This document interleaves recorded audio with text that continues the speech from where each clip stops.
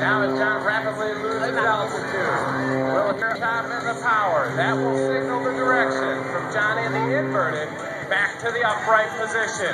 Now in the inverted flat spin, continuing to spiral down. John will again push forward on the stick, getting the wings flying again. Head air show center at nearly 220. Colonel John Glenn, a member of the Air National Guard for nearly 23 years, getting a start here at Little Rock Air Force Base, flying C-130s.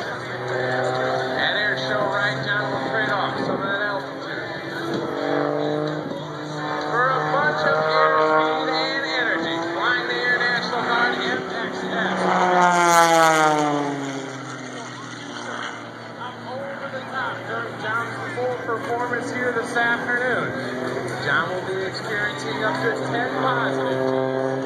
And nearly 7 negative Gs at the top.